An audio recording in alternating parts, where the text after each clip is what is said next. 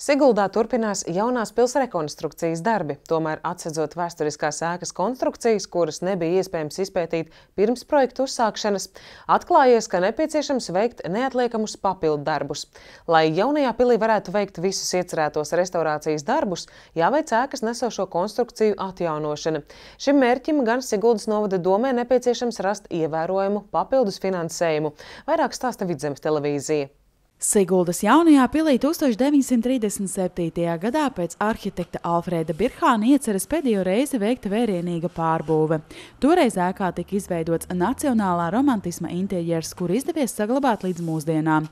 Šobrīd īstenotā projekta mērķis ir saglabāt tajā laikā radītās vērtības, interjera un apdares elementus, kā arī mākslas darbas un ēkas kopējo veidolu. Būs iespējams uh, veikt laulību ceremoniju.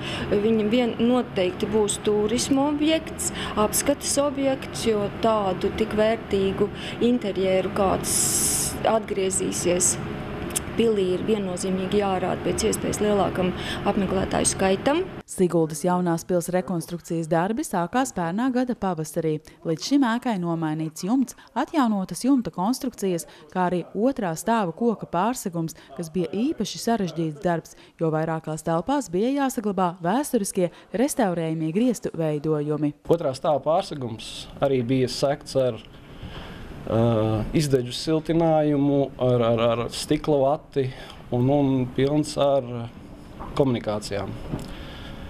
Kurus visu demontējot, atklājām, ka 95% apjoms otrā stāva pārsegums īsi bija bojāts. Tad tika veikti bojāto sīvu protezēšanas darbi, nomaiņas darbi, un kopējais apjoms bija 38 kubikmetri koku materiālu. Ievērojama darbu pils iekštelpās paveikuši arī restaurātori. Atjaunotas vēsturiskās vitrāžas, gleznes, lustras un citi interjera priekšmeti.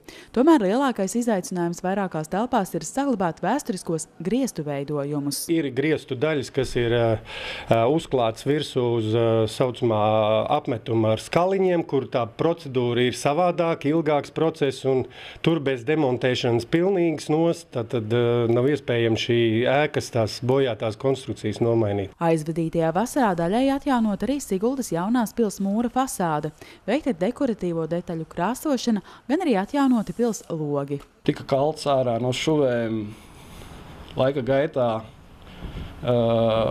veidotās šuvis, kuras neatbilst vēsturiskajam veidojumam un, un, un mūrjaus sastāvam.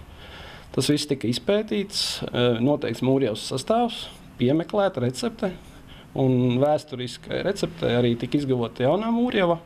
Ar tādu mūrjavu atjaunoja neatbilstošās šuvis, vai arī kas bija izdrupušas un kas nebija glābjams. Būvdarbu gaitā, atsedzot ēkas pirmā un pagrabstāva nesošās konstrukcijas, atklājās, ka tās ir bojātas un zaudējušas nespēju.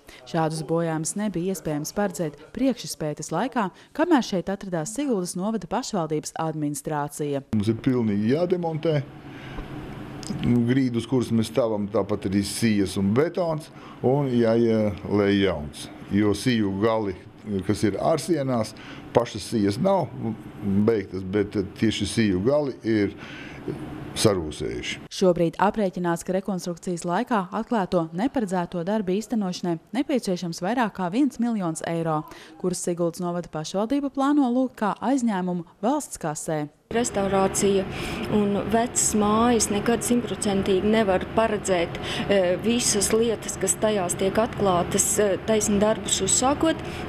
Ir secināts, ka ir nepieciešama gan papildus darba, līdz ar to arī papildus finansējums.